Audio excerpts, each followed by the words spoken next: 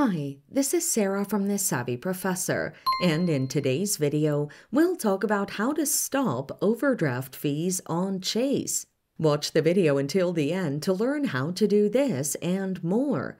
As you may know, overdraft fees at Chase Bank are $34 per transaction, and this fee starts with the first transaction you make that overdraws your checking account balance by $50. These overdraft fees can be avoided by using the Chase Overdraft Assist.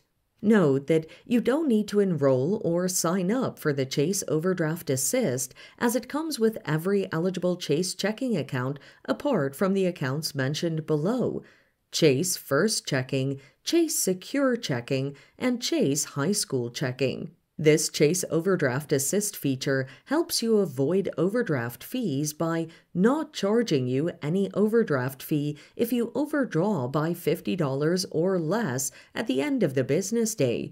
A business day ends at 8 p.m. Pacific Time Zone. Not charging you if you bring your account balance to overdrawn by $50 or even less at the end of your next business day.